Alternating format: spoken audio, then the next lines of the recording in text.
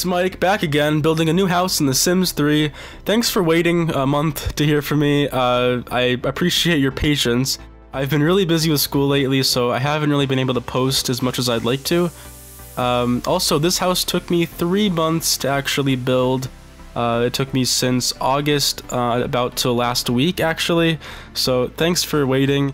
And here it is finally. It's called Cape Getaway. It's uh, as you can see, it's a really big house.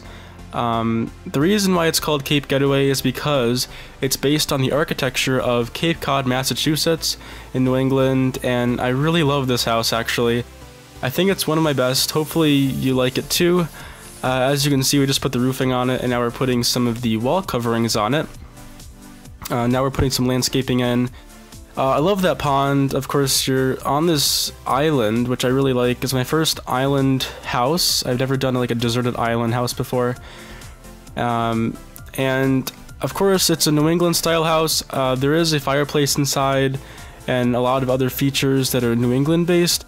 But I thought that since I'm doing an authentic New England style house, I wanted to bring that into here. Even though we're in a tropical paradise where it's never going to get cold, um, unless of course you want it to with seasons. But uh, yeah, I really like how it turned out. So here we are in the front, starting to add some landscaping. Uh, there's a dock, of course, since you're on an island. Uh, the only way to get there is from uh, if you go on a boat or if you swim there. So there's two nice speedboats in front, and also the front entrance is right there. Uh, adding in some plants and rocks, and now in the back adding some more windows in. Um, of course, some of the main features that make this a New England style house really uh, are the uh, dormers at the top and the third floor kind of barn style roof where you have the room for the um, third floor because the roof is so high. Uh, and also, of course, the um, turret um, adds that Cape Cod style feel. It's my first time doing this kind of house too, and I really think it turned out nice. Uh, of course, you have the pool in the back, uh, and there's fountains as well. Adding in some more coverings uh, for the walls and some more plants. And here we are just about to go inside the house. And you'll see the house is actually really big as far as the floor plan size. So uh, yeah, it's really big. It took me so long to furnish it. Um, as you can see, it's very split up. On the right side of the house and the left side's more open. Uh, here's the kind of entryway. I really tried to make it look like you could enter in either way of the house. There's no real definite front or back, mainly because this is a, a island house, so I really wanted to make it very open. There's the kitchen. Uh, I really went with like a yellowish orange kind of backdrop backsplash, which I think turned out pretty nice. Uh, bathroom on the right side.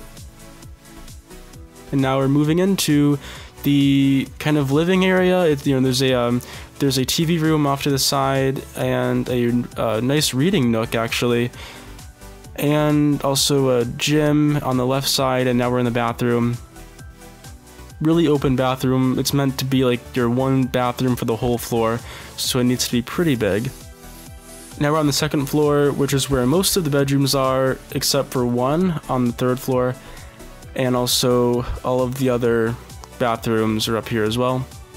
Of course, a really nice sitting area and uh, landing, and then also an extension of the landing right here with a TV and foosball table.